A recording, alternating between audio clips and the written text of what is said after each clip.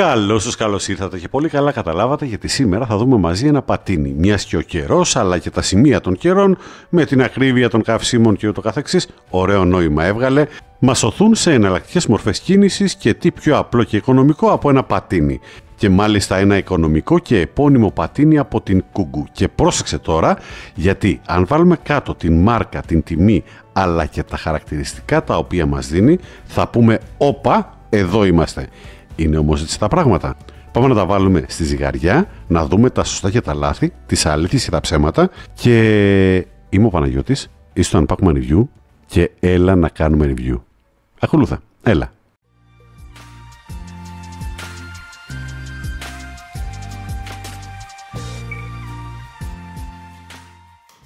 Και να είμαστε πάλι μέσα, πάμε να δούμε τι έχει μέσα το κουτί, να δούμε πώς μας έρχεται, τι περιλαμβάνει και εδώ θέλω να πω και να επισημάνω ότι η συσκευασία ήταν πάρα πολύ καλή, πολύ προσεγμένη και σου δίνει την αίσθηση ότι όντως αγοράζεις κάτι καλό και επώνυμο.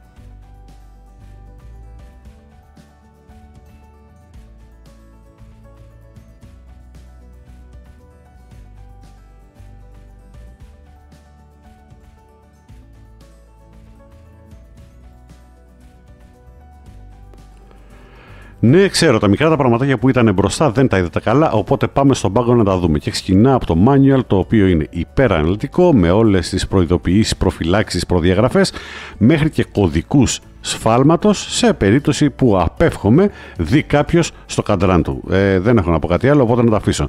Και πάμε τροφοδοτικό, το οποίο αυτό που μας ενδιαφέρει είναι η ισχύ του και είναι 42 volt στο 1,5 A, άρα 63 W και κάποιες άλλες πληροφορίες που μας έχει από κάτω. Όμως πολύ μικρά καλώδια, έτσι. Και έλα εδώ να δεις ένα πάρα πολύ όμορφο πολυεργαλείο που μας είχε μέσα η Κουγκού.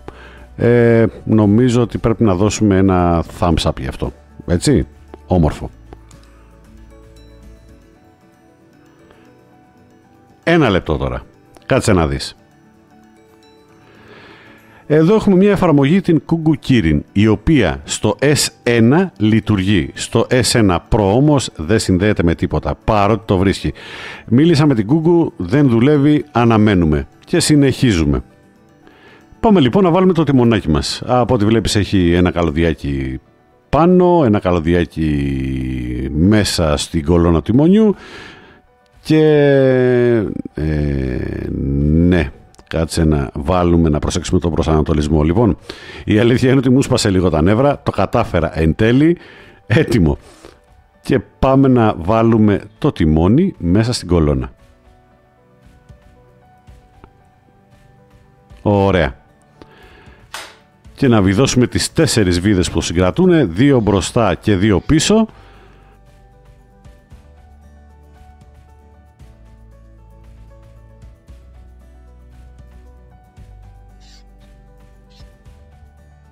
και είμαστε κομπλέ. Να αφαιρέσουμε λοιπόν και τη ζελατίνα μας και να ενεργοποιήσουμε και την οθόνη μας. Δεν πάμε όμως μια και ανοίξαμε την οθόνη να δούμε το μενού αλλά και το κρυφό μενού που σας περιέγραψα στον ε, τίτλο στην αρχή. Λοιπόν, ενεργοποιούμε την οθόνη, βλέπουμε μπαταρία, χιλιόμετρα, πόσο πηγαίνουμε, το οδόμετρο, και το τι ταχύτητα έχουμε μέσα, τη σχέση να το πω έτσι πολύ απλά, ε, στο πατίνι μας, στο μοτέρ μας. Ένα, δύο, τρία. Ένα κλικ και αλλάζει. Ξαναπατώντας το γυρίζουμε ξανά στο ένα.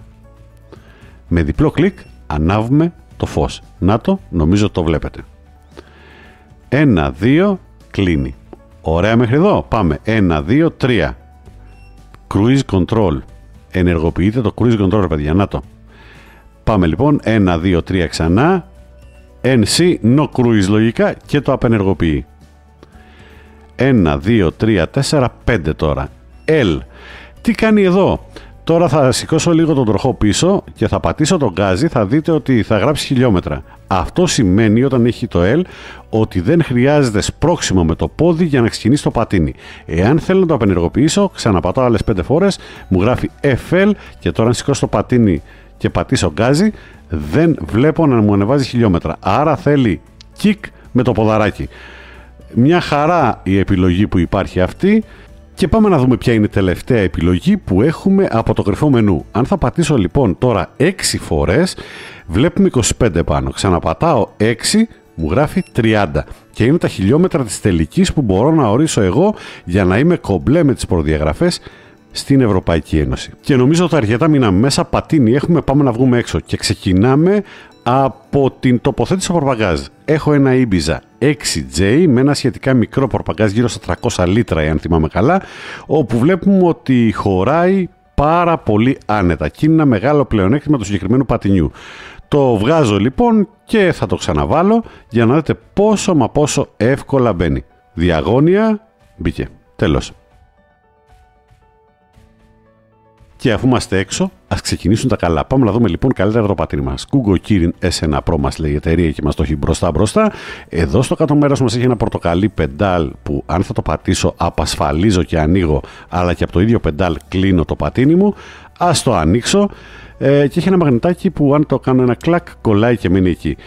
Και πάμε λίγο πάνω και τι βλέπουμε εδώ, εδώ είναι το φρένο το οποίο είναι ηλεκτρικό μέσω του μοτέρ και δεξιά είναι το γκάζι. Στη μέση το κουμπάκι που το είδαμε και από το μενού που ενεργοποιεί και απενεργοποιεί το πατίνι αλλά και μπαίνουμε στο μενού και τι άλλο ήθελα να δείτε; Ήθελα να δείτε λίγο το φως πώς φαίνεται το οποίο φεύγει μια χαρά αρκετά ικανοποιητικά θα έλεγα στο σκοτάδι. Απλά να το δείτε λίγο έτσι μπροστά πώς είναι αναμένο. Όμορφο και τακτοποιημένο. Συνεχίζουμε λοιπόν, Ξανά πάμε, πάμε μία κάτω. Πορτοκαλί ωραίο και τι κρύβει εδώ πέρα από κάτω; Ελαττήριο. Ελαττήριο, ανάρτηση λοιπόν μπροστά. Και πάμε λίγο από κάτω γιατί θέλω να δεις για την ανάρτηση και πίσω. Αλλά πριν, κοίτα εδώ, μέταλλο, πλαστικό. Μέταλλο, πλαστικό. Και μπράβο στην Google γιατί προστατεύει πάρα πολύ το πατίνι και θα δεις την πορεία τι εννοώ. Εδώ είναι η πίσω η ανάρτηση που βλέπουμε ότι πηγαίνει μέσα στο υποπλαίσιο. Και αφού είδαμε και την πίσω ανάρτηση, πάμε να δούμε τι μπορεί να τραβήξει και πού χρειάζεται να είναι μεταλλικό από κάτω. Και μπράβο στην Google εδώ, γιατί έχουμε δει και πολύ ακριβότερες μάρκες και πολύ ακριβότερα πατίνια να έχουν πλαστικό από κάτω, ενώ έτσι μπορεί να προστατεύσει πάρα πολύ καλά την μπαταριοθήκη από ένα άτομο περίπου στα 100 κιλά, όπως είμαι εγώ, κατεβαίνοντας από ένα πεζοδρόμιο ή πέφτοντας σε μια λακκούβα. Και συνεχίζουμε λοιπόν με τα λαστικάκια τα οποία είναι Honey Bomb, συμπαγή και δεν σκάνε. Πράγμα που είναι και καλό και κακό. Πάμε λοιπόν στο Μεντεσέ να τον δούμε λιγάκι. Εδώ το άνοιξε κλείσε που είναι μεταλλικός. Διάφορες έτσι προειδοποιήσεις και ούτω καθεξής.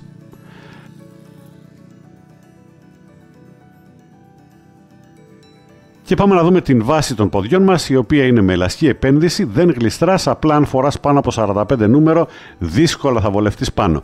Και πίσω το φτεράκι που χρησιμοποιείται και σαν δεύτερο φρένο.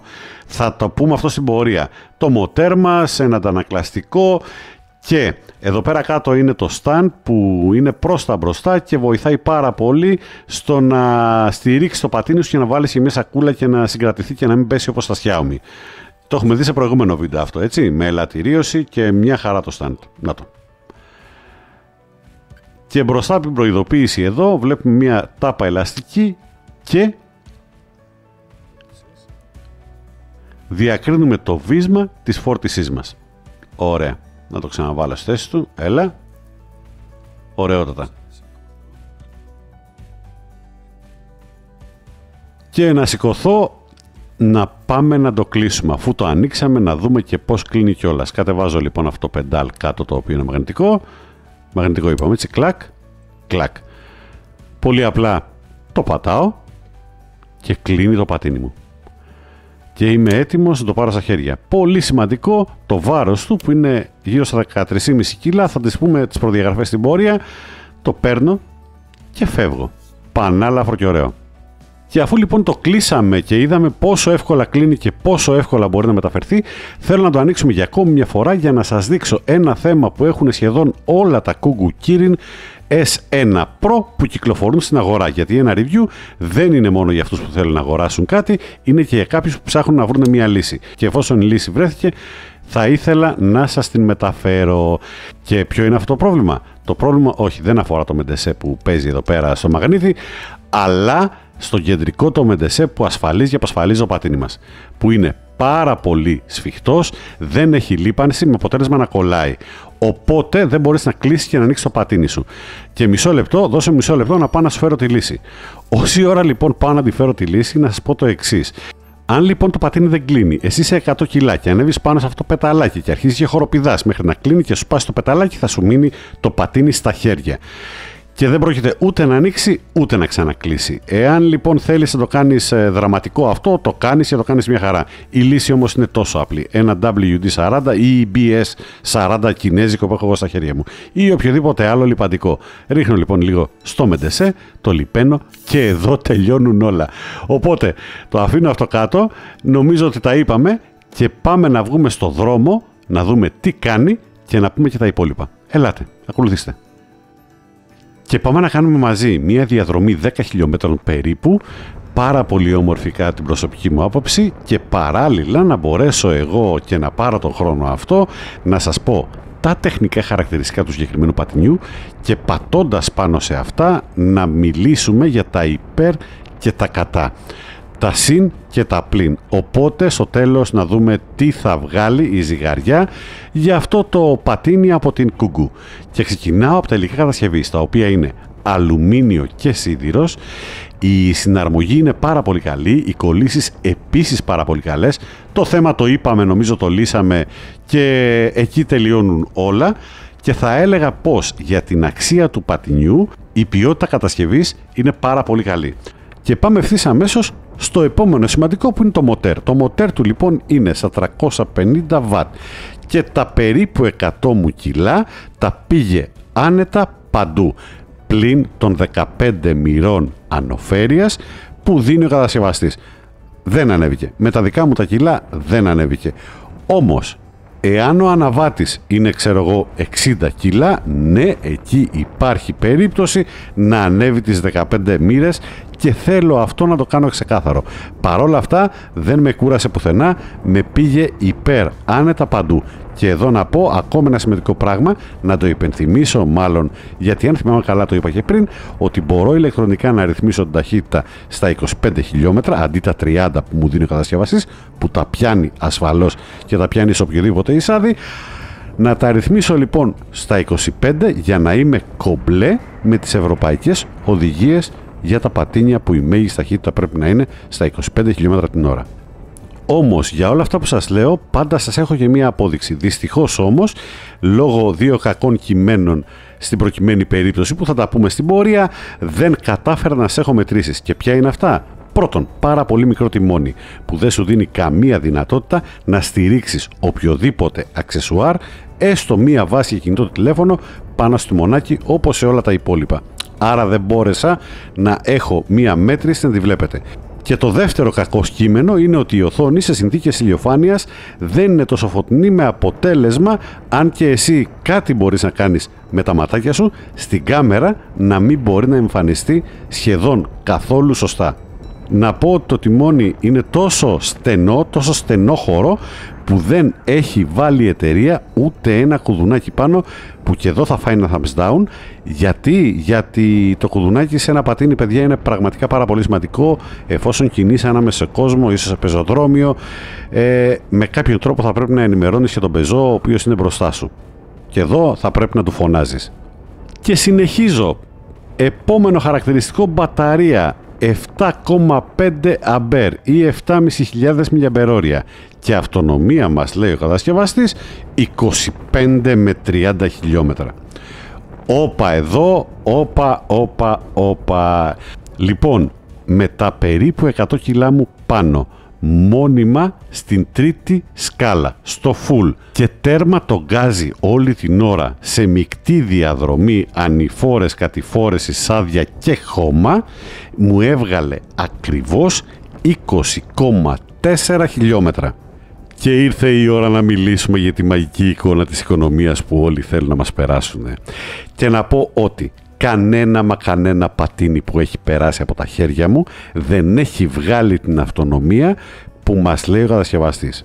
Γιατί μάλλον οι κατασκευαστές πατινιών ζηλέψαν από τους κατασκευαστές αυτοκινήτων που σου λένε μια κατανάλωση και για να τη βγάλεις αυτή την κατανάλωση θα πρέπει να πας σε γκρεμό με αυγό στο πεντάλ του γκαζιού και με ευνοϊκό τυφώνα. Έτσι ακριβώς λοιπόν είναι και εδώ. Άρα ποτέ μην βασίζεστε σε αυτό που λέει ο κατασκευαστής. Και να το ξέρετε πως η αυτονομία ποικίλει αναλόγως του βάρους μας, της οδηγικής μας συμπεριφοράς και της ποικιλομορφίας της διαδρομής μας. Που ακόμη και αυτό πολλές φορές δεν ισχύει. Να ξέρετε ότι ακόμη και την ίδια διαδρομή να κάνετε με το ίδιο ακριβώς βάρος τη μία μέρα μπορείτε να καταναλώσετε περισσότερο από ότι κάποια άλλη γιατί, γιατί μπορεί να παίξει παράγοντας κίνηση και ξεκίνα σταμάτα. Άρα πολύ μεγάλο ρόλο παίζει και το γκάζι, το ελάχιστο γκάζι παραπάνω ή παρακάτω που θα χρησιμοποιήσεις. Και το κλείνω εδώ για να πάμε παρακάτω. Και εμείς μιλήσαμε για μπαταρία. Η προδιαγραφή μας λέει ότι φορτίζει σε περίπου 4 με 5 ώρες. Και ναι, εδώ είμαστε σωστοί. Και πάμε λοιπόν επόμενη προδιαγραφή η οποία είναι και αυτή πάρα πολύ σημαντική. Μέγιστο βάρος αναβάτη τα 120 κιλά. Εδώ να πω ότι βοηθάει πάρα πολύ η στιβαρότητα του πλαισίου αλλά και η ανάρτηση. Και μια και είπα στιβαρότητα πλαισίου να θυμίσω που είδαμε πιο πριν το μεταλλικό το υποπλαίσιο που έχει από κάτω στην μπαταριοθήκη. Ε, μπορείτε να καταλάβετε νομίζω τι γίνεται ή τι μπορεί να γίνει με ένα άτομο 120 κιλά πάνω σε μία λακκούβα ή κατεβαίνοντας σε ένα πεζοδρόμιο. Εκεί θα βοηθήσει πάρα μα πάρα πολύ. Τώρα όσον αφορά την ανάρτηση που για μένα η ανάρτηση είναι λάθος έκφραση γιατί εδώ μιλάμε μόνο για ελαττήρια. Μία ανάρτηση περιλαμβάνει ελαττήριο και αμορτισέρ. Εδώ έχουμε πολύ καλή βήθηση που κάνει ένα ελαττήριο. Πολλές φορές η εκτόνωση όμως είναι άσχημη. Και κρατήστε αυτό το πράγμα, βέβαια οποιαδήποτε μορφής ανάρτησης είναι πέντε φορές καλύτερη από ότι καθόλου ανάρτηση. Και κρατήστε για αυτό το πράγμα που σας λέω, γιατί πραγματικά έχουν περάσει πολλά από τα χεράκια μου και να ξέρουμε να λέμε και τα άσχημα, αλλά να ξέρουμε να λέμε και τα καλά. Και εδώ να πω ένα τεράστιο μπράβο στην Κούγκου, που πραγματικά σε αυτήν την κατηγορία τιμής που είναι κάτω από 300 ευρώ, έχει ανάρτηση εμπρός και πίσω και μεταλλικό πλαίσιο μπαταριώθηκης. Μπράβο Κούγκου. Και πάμε λιγάκι να το γυρίσουμε στις 24 κοντούς. Από το ζεστό, μπράβο Κούγκου, πάμε στο κρύο. Όχι Κούγκου, εδώ δεν τα πήγες καθόλου καλά γιατί θα μιλήσουμε για φρένα. Τα φρένα εδώ παιδιά είναι θέμα. Είναι μεγάλο θέμα και θέλουν πάρα πολύ προσοχή, οπότε οφείλω να το πω. Γιατί, γιατί η Κούγκου επέλεξε τη λύση του ηλεκτρόφρενου ε, το οποίο φρενάρει κόβοντας το μοτέρ και όχι ένα παραδοσιακό δισκόφρενο ή ακόμη και ένα ταμπούρο. Προσέξτε όμως εδώ, προσέξτε, έχει τρομακτική απόδοση και λέω τρομακτική γιατί πραγματικά σε τρομάζει όταν πας σιγά, γιατί κόβει πάρα πολύ καλά, όταν όμως πας σβέλτα και κινείσαι πάνω από 20 χιλιόμετρα την ώρα, τα πράγματα γίνονται άσχημα έως και επικίνδυνα. Θα πρέπει σίγουρα να χρησιμοποιήσετε το ποδόφρενο μέσω του πίσω φτερού και ακόμη και με αυτή την υποβοήθηση πραγματικά ασφάλεια δεν αισθάνεσαι. Και θα δώσω μια συμβουλή εδώ σε όσους το έχουν ή σε όσους θέλουν να το αποκτήσουν. Φρενάρισμα όχι ένα κλικ, δύο κλικ πριν σε σχέση με ένα συμβατικό φρένο, δισκόφρενο ή ταμπούρο. Μεγάλη προσοχή λοιπόν, thumbs down εδώ, τεράστιο thumbs down στην Google και συνεχίζω. Και πάμε λοιπόν επόμενη προδιαγραφή. Ελαστικά 8 ίντσες, μικρά νεμέν, honey bomb και συμπαγή Άρα δεν σκάνε, δεν φοβόμαστε να πάμε off-road ή να πατήσουμε ένα καρφάκι. Από την άλλη όμως πάρα πολύ σκληρά. Η παρτίδα όμως σώζεται μέσω της ανάρτησης και θεωρώ εδώ ότι η Kugu έχει κάνει μια πάρα πολύ καλή επιλογή. Και σαν παρένθεση να πω ότι τα λάσκα τα φοβήθηκα στην αρχή επειδή ήταν συμπαγή, αλλά κρατάνε πάρα πολύ καλά στο δρόμο. Και συνεχίζω πιστοποίηση και διευροχοποίησης IP45 Προσοχή σε βροχές και νερά. Δεν έχω να πω τίποτα άλλο. Και για το τέλος, διαστάσεις. Ένα πολύ βολικό μικρό πατίνι, νομίζω το είδατε μπαίνει και χωράει παντού, είναι ελαφρύ και να πω ότι ανοιχτό είναι 1,10 επί 42,5 εκατοστά επί 1,09 ενώ κλειστό 1,10 επί 42,5 επί 36 εκατοστά ενώ το βάρος του είναι στα 13,65 κιλά. Και κάτι τελευταίο, μια και μιλήσαμε για μεγέθη και βάρη, να πω πως Εάν είσαι πάνω από 1,85 το τιμόνι του είναι κοντό και θα ζοριστείς λιγάκι, θα χρειαστεί λιγάκι να καμπουριάσεις. Να το πω και αυτό, να μην το αφήσουμε στο βόρτο, είναι μια πάρα πολύ σημαντική πληροφορία. Και να συνεχίσουμε με τα κατά. Ποια είναι τα άσχημα του συγκεκριμένου πατινιού μετά από αρκετό καιρό χρήσης, πραγματικής χρήσης. Και ξεκινάω από το χείριστο. Φρένα, τα είπαμε, μεγάλη μα μεγάλη μα μεγάλη προσοχή. Θα ήθελα δισκόφρενο ε, ή τουλάχιστον ταμπούρο. Εδώ θεωρώ ότι η Κούγκου έχει κάνει ένα τεράστιο λάθος. Επόμενο, μικρό τιμόνι χωρίς να υπάρχει καμία πρόβλεψη για να μπει κάποιο πρόσθετο όπως μία βάση κινητού και απαράδεκτο κούγκου που δεν υπάρχει κουδούνι απαράδεκτο. Είναι θέμα ασφάλειας. Επόμενο κακό, αδυναμία χρήσης εφαρμογής. Εδώ η Google θα έπρεπε να το έχει φτιάξει αυτό το κομμάτι. Εφόσον το πατίνι έχει Bluetooth, μπορεί να συνδεθεί, μπορεί να ανοιχνευτεί το Bluetooth μέσα του κινητού. Θα έπρεπε η Google να το είχε φτιάξει ήδη, γιατί ανοίγουν οι ορίζοντες για επιπλέον ρυθμίσεις και δυνατότητες μέσω της συγκεκριμένης εφαρμογής, η οποία δεν είναι καθόλου άσχημη θα έλεγα. Και συνεχίζω με το τελευταίο που δεν μου άρεσε καθόλου και θα πάρει thumbs down. Βέβαια, όσο καλά είναι τα πράγματα, τόσο και άσχημα είναι. Ή και το αντίστροφο. Είναι ο θόρυβος της ανάρτησης. Ναι, η ανάρτηση έχει θόρυβο γιατί δεν έχει αμορτισέρ, είναι μόνο ελαττήριο, αλλά λόγω των Honey Bomb και των 8 ιντσών ελαστικά του, πραγματικά είναι απαραίτητη. Οπότε παραγωνίζω τον θόρυβο και κρατάω την άνεση. Γι' αυτό είπα είναι τόσο καλό όσο και κακό. Οπότε με τα κατά, με αυτά που δεν μου άρεσαν, τα είπαμε. Είναι κάποια πράγματα τα οποία και εγώ πραγματικά δεν τα συζητάω. Πάμε όμως να δούμε τι καλό, τι υπέρ έχει το συγκεκριμένο πατίνι. Και ξεκινά από την ποιότητα κατασκευής υλικών και συναρμογής.